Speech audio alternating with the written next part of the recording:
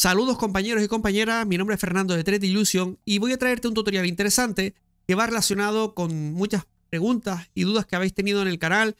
Cada día eh, respondo cuestiones y preguntas que me hacéis vosotros en la eh, descripción de los vídeos y eh, yo las voy contestando y apunto todas las sugerencias que ustedes me van diciendo porque gracias a ustedes me dan muchas ideas para seguir haciendo contenido. Este contenido que voy a generar ha sido gracias a apuntar em, de varios suscriptores una duda y es en el tema de las texturas, en el tema de eh, los detalles a la hora de generar una textura. Lo primero que quiero comentar es que para generar un acabado final no solo va con eh, las texturas o la iluminación, sino también lleva detrás pues, un modelado, un buen modelado y lleva también una buen, un buen corte eh, con las UVs, ¿no? En este caso, vamos a ir al apartado de las UVs, vamos a ir viendo cómo he hecho todo esto para que ustedes podáis aplicarlo también a sus modelos y podáis aprender y, podéis avanzar. En este caso, eh, lo que vemos aquí en rojo son los cortes eh, que yo he generado con la U y le he dado los margin. Los margin lo que hacen es que te decortan la pieza de una manera para que cuando la proyectas en la UV o generas la UV a partir del, de un wrap, lo que hace es que te corta la pieza de una manera o de otra. En este caso, yo lo he usado para hacer esta, este corte, lo he usado para hacer la UV del grabado que he generado. Pero si, por ejemplo, quisiera hacer la UV de una textura rugosa o con defectos o con óxido, lo más probable es que me hubiese currado un poquito más la UV. Hubiese hecho más cortes para que cuando lo voy a llevar a Sustan Painter, porque yo utilizo el Sustan, para cuando lo voy a llevar allí, poder hacer una textura correcta y que se me quede bien. Porque los cortes, dependiendo cómo haga los cortes, se va a ver una textura de una manera o de otra. He tenido la suerte que haciendo la V de este, en este caso, como la tengo aquí, pues eh, me ha funcionado. Para todos aquellos que no sepáis lo que es una UV o cómo cortar las UVs, aquí arriba eh, te voy a poner un enlace o en la descripción donde podrás encontrar eh, un tutorial que va de las UVs y cómo, cuál es la mejor manera para cortar una UV, ¿no? Bueno, una vez que tenemos esto un poco repasado, lo de las UVs, es muy importante, nos vamos al tema de las texturas. En este caso, aquí me voy al eh, de Blender, que es donde eh, podemos encontrar las texturas. Yo lo que he hecho es, para que me dé este brillo mate, porque me gusta que esté este mate aquí y después este brillo dentro, para poder resaltar estas hendiduras o estos grabados, lo que he hecho es, me he puesto, me voy aquí a objeto y aquí tengo dos texturas y he puesto una en mate, o sea, una en brillo y otra en mate, ¿vale? Esta es la mate, más bien en mate, ¿no? Es con eh, lo que es el metal, el metálico arriba y el, metálico al máximo y lo que es es el, el pues eh, casi a la mitad, ¿no? Para poder hacer ese efecto, ¿no? Bien, una vez que tenemos esto ya realizado y tenemos esa textura para que se proyecte, lógicamente, para que estas, eh, este tipo de efectos se vean, o estas hendiduras o estos grabados, es interesante que tenga colores brillos para poder jugar con la luz. Vean que puedo jugar con la luz, ¿no? Bien, eh, para poder hacer este tipo de opciones, voy a seleccionar esto, me voy a llamar este material. Y si se dan cuenta, yo tengo aquí eh, un material que hace referencia, si nos vamos a la textura, simplemente son estos dos mapas. Es uno de eh, Height y otro de Normal Map. Estos dos mapas me los he creado, los he creado yo y les voy enseñar cómo se hace. Eh, uno lo tengo conectado en Normal Map y otro en el Height.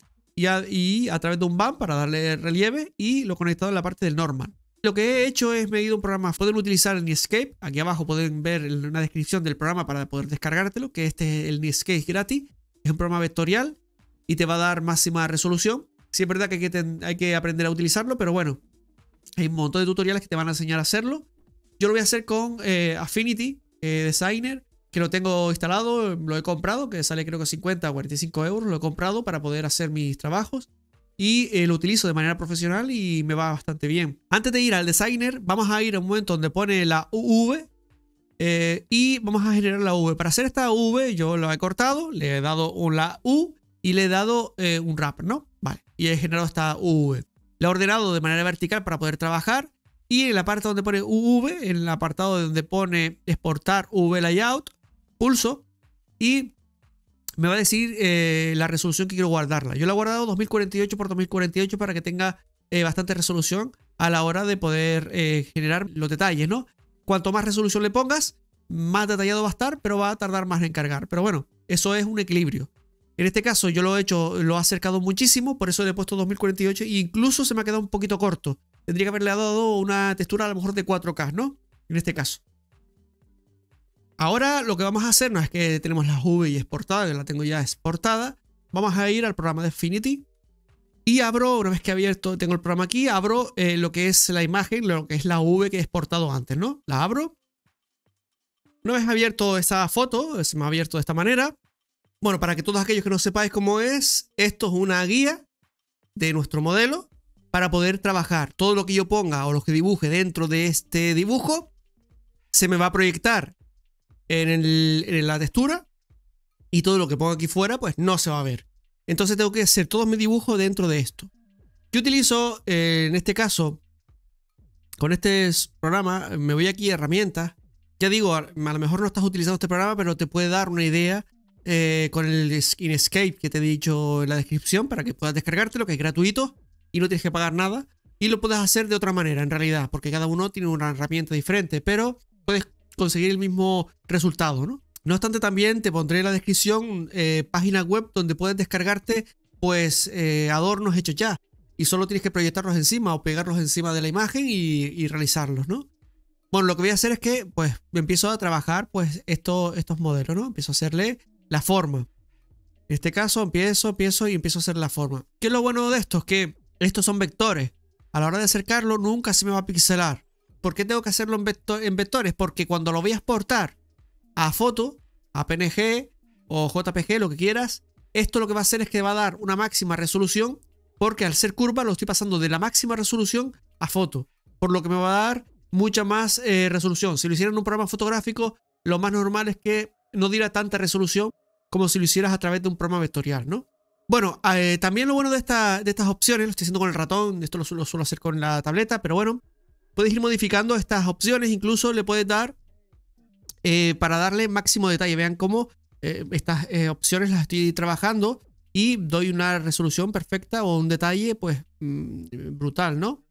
En este caso, así, a lo mejor está aquí.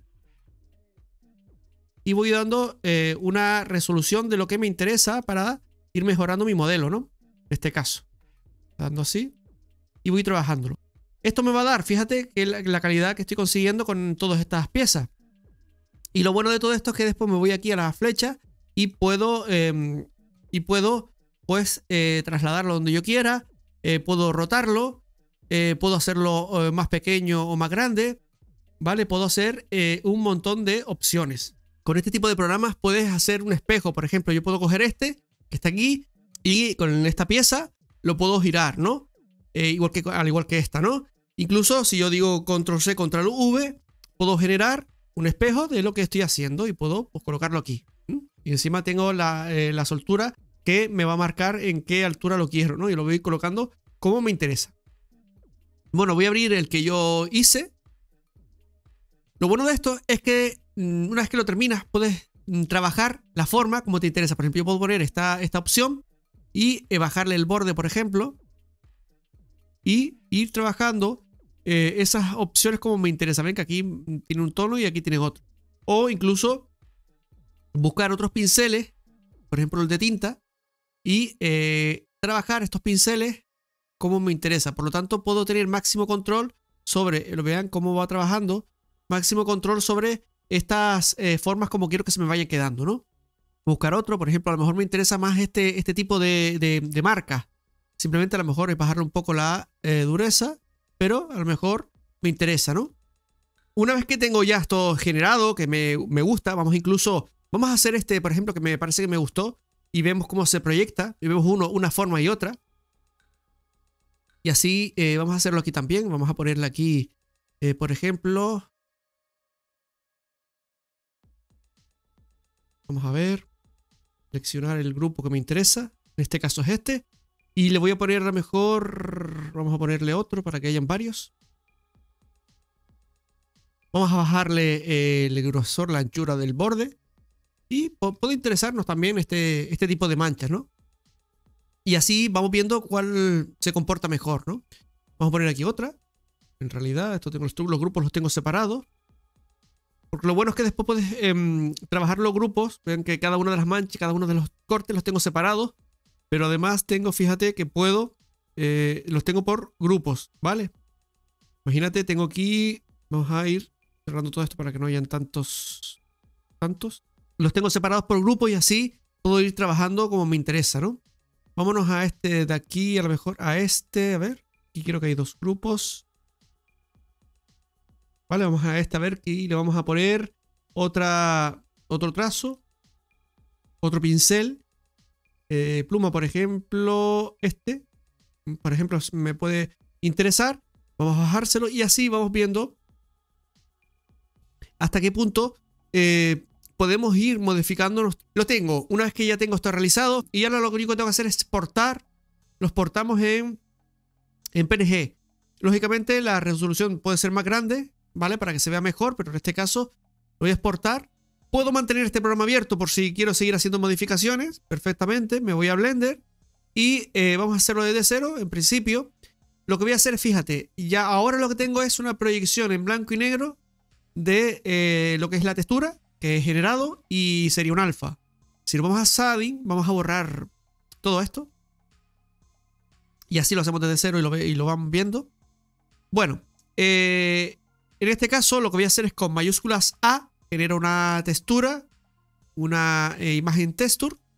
Y vamos a ponerlo aquí en el base color para que vean cómo se proyecta. Cojo y abro esa textura que he generado. Y se proyecta de esta manera. Vean que se proyecta de esta manera. Si te das cuenta, eh, solo se me proyecta en la parte de arriba y es porque en la parte de abajo tengo otra textura. Es decir, esta parte de aquí es una textura y esta parte es otra. Por eso solo se me proyecta en esta parte de aquí arriba eh, lo que es el negro y el, y el, y el color. Vamos a ver cómo se proyecta, a ver si se nos queda bien.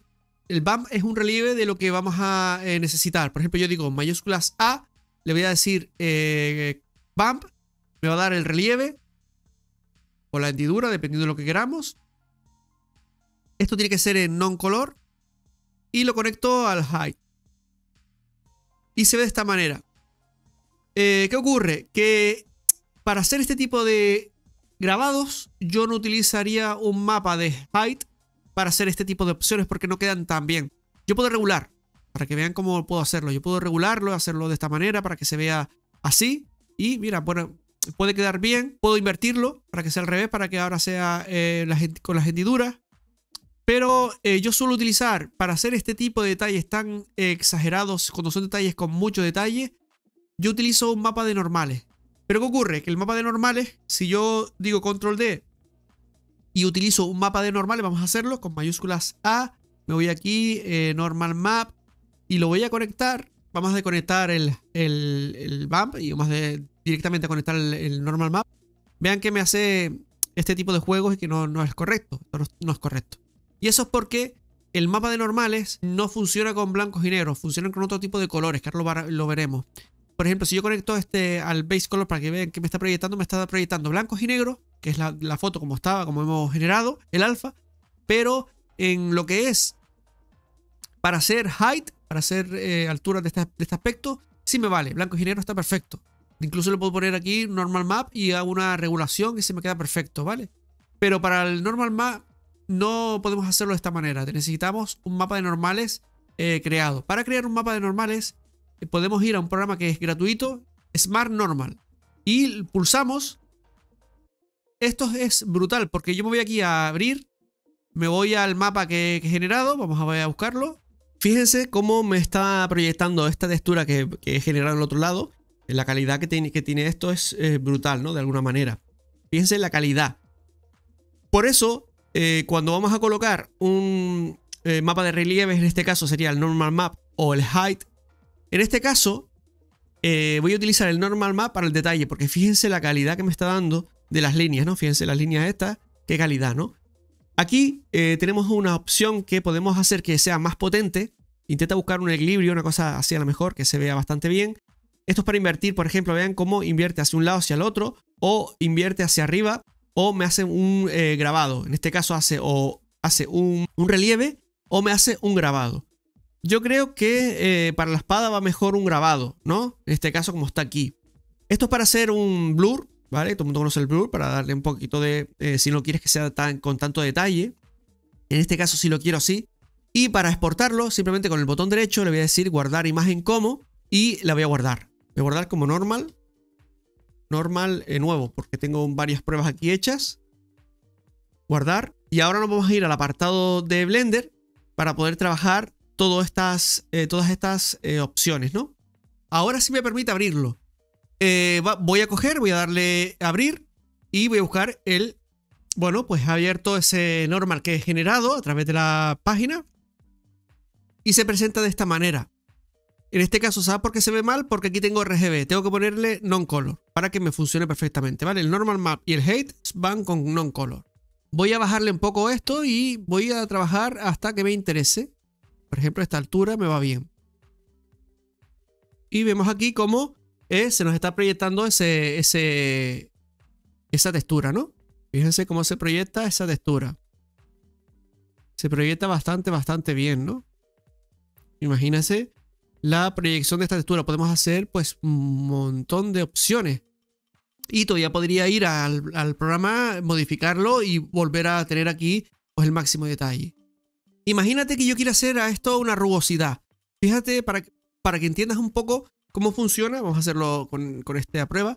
Eh, vamos a hacerlo con el normal map, nos vamos a ir a shading para que te voy a dar un truco que es interesante y te puede servir para eh, tus presentaciones. Fíjate que yo voy a hacer eh, le voy a dar, con, voy a utilizar el normal map para hacer el máximo detalle, pero voy a utilizar el height para generar una textura procedural de ruido, por ejemplo. Con mayúsculas A me voy a texture, en texture le voy a decir noise, ¿vale? Esto lo tengo que poner muy alto. Esto lo que va a hacer es un ruido, ¿no? Es, una, es un nodo para hacer ruido. Con mayúsculas A le voy a poner un nodo medio que es una rampa de color que eh, se utiliza para tener máximo control a esto y de paso, y de paso transformo el noise que viene con colores, lo transformo en blanco y negro. Voy aquí, em, voy a ponerlo aquí para que vean de lo que hablo. Lo conecto aquí en el base para que lo vean. Vale, el noise me da, ven que me da unas texturas con, de colores. Vale, pues habíamos dicho que el eh, height, ¿vale? El height solo funciona con tonos eh, negros, grises y blancos, ¿vale? Por eso tenemos que poner un color rank. Fíjate que si yo ahora conecto el color rank aquí en el base color, ven que me va a dar un tono, pues, eh, grises, ¿lo ven? Que yo aquí me va a dar tonos grises y negros. Los negros son transparentes y los grises son, pues, el relieve. Vamos a ponerlo aquí para, que lo vean. Que se puede invertir en realidad. ¿Vale? Fíjense cómo me está trabajando esto ya. Fíjense la calidad. Incluso yo le puedo dar o más o menos. Consejo que les doy. Para hacer este tipo de opciones, yo les, les aconsejo que cuando hagan un, eh, lo que es un height, no le pongan mucha potencia, se lo bajen, porque cuando le dan mucha, eh, pierde esa realidad, ¿no? Y no se ve perfecto. Pero si yo le doy una altura eh, considerable con, esta, con estos acabados, fíjate cómo me está haciendo ya esto, esto me está funcionando perfectamente. Y eh, incluso podemos pues eh, trabajar un poco esto, podemos bajarle la escala, por ejemplo, podemos hacerlo que sea pues con más intensidad. Si lo ponemos con más rugoso, por ejemplo, y le vamos a darle menos intensidad para que sea pues un poquito con menos intensidad. Así una cosita así, a lo mejor, a ver, no. Quiero intensidad, pero quiero bajarle aquí el height. Aquí vamos a darle un poquito más de potencia al normal, para que se vea. Y aquí la height vamos a bajárselo un poco más. Exacto. Quiero, quiero que tenga un pequeño, pequeño, pequeño rugosidad, pequeña todavía. Incluso con 0,5 me, me, va a dar una profundidad bastante, bastante acertada de lo que es un metal, ¿no? En realidad. Vamos a verlo en, aquí en layout para que lo vean más, eh, grande. Y fíjense cómo, si yo me pongo aquí, vean cómo me da esa rugosidad y me da ese toque pues rugoso. Otro pequeño apunte que también es interesante es que si, si yo cojo la textura y le doy eh, un mínimo 0,01 se me va a quedar un poquito mejor. Vean esa, ese detalle que tiene esa espada que podría ir bien. Sobre todo en espadas no, porque las espadas como norma general suelen ser lisas y, se va a ver mejor lisa. Pero cuando vamos a hacer eh, acabado de pintura, esto puede ir muy, muy bien y se te va a quedar pues más perfecto, ¿no? Vamos a verlo aquí en, layout para que vean la prueba y vean cómo se va a quedar. Incluso, a lo mejor creo que el normal más está muy eh, demasiado exagerado. Fíjate que me está dando como unas, em, unas betas negras aquí. Esas betas a mí no me hacen mucha gracia. Lo que vamos a hacer es bajárselas. Vamos a, ver hasta qué punto nos interesa. ¿Vale? Puede, ir bien así en este aspecto. Vamos a ver el layout y vean cómo se comporta esa luz. Vean qué detalle, ¿no? Qué detalle se, me va quedando todo esto, pues perfecto. Imagínate si yo lo separo y hago ese, ese movimiento, ¿no? Eh, habíamos dicho. Vean cómo se me está proyectando y se ve perfecto. Y podemos conseguir unos acabados, pues, brutales. Fíjense que con cosas eh, mínimas como las regulaciones aquí en, en, por ejemplo, eh, fíjense como que el normal map eh, yo no le he dado mucha potencia y he regulado a través, le he puesto un poquito de noise para que esos brillos no sean tan perfectos. pues puede ir bien también en muchos casos, no, en este caso a lo mejor no tanto, pero en muchos casos sí puede ir bien. Y también intentar utilizar el normal map que es más complejo porque tiene otros colores, con el programa que les he dicho de Smart Normal, para hacer los detalles más eh, perfectos, cuando quieres un detalle que sea más perfecto, como es lo que es letras, tipografías o hendiduras perfectas. Y cuando quieres algo un poco más tosco, más bruto, pues utilizas el height, ¿vale? La entrada de height, eh, utilizando pues valores, como te decía, pues no muy altos, ¿no? Para que tampoco te manche esa, ese height, ¿lo ves? Que si no te lo mancha, te lo mancha mucho, ¿no? Una, una altura, pues, dependiendo de lo que estés buscando, ¿no? Pero en realidad no abusar mucho. Espero que te haya gustado este tutorial, espero que te ayude para que tus acabados finales sean mejores y nos vemos en los siguientes tutoriales.